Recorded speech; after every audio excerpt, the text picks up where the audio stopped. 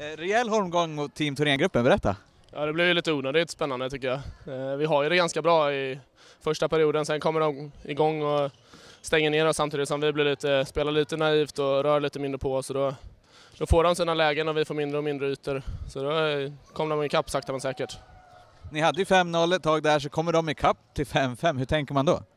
Man vill egentligen bara jobba på. Eh, då blir det ju som en vanlig match när det är jämnt hela vägen. Så man vill ju bara, varje gång de sätter den så vill man ju bara börja om och sätta nästa kasse. Så det kändes aldrig egentligen som att de hade övertaget på oss, även om de eh, gjorde målen ett tag. Men eh, man kände ju hela tiden att vi var i ledningen och sen Även när, vi gjorde fem, när de gjorde 5-5 så tyckte jag att vi kom ut starkare i tredje och hade övertaget ändå. Så jag var inte så extremt orolig. Men det är klart att vad som helst kan hända när de kommer upp och det är jämnt. Du fick göra några viktiga räddningar där när de hade powerplay i slutet. Ja, det var skönt. Jag hörde Viktor sa efter förra matchen att det är sista tio som räknas, så jag, jag tänkte bara på det. Så det, är- det är skönt att kunna kliva upp så också.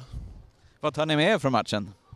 Första perioden tycker jag vi kommer ut med bra energi och bra rörelse. Eh, och jag tycker vi gör en ganska bra match förutom att vi rör lite för lite på fötterna och tappar energi från andra perioden och framåt.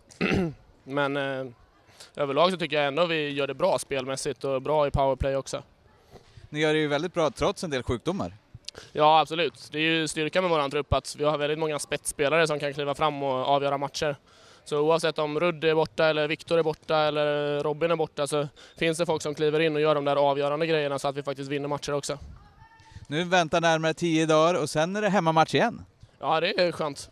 Lite ovanligt uppehåll. Sen sätter det igång ordentligt med matcher var tredje dag eller något sånt där i två månader. Så det är skönt med lite vila nu när vi bygger upp oss igen. Så ska vi ta Linköping nästa match.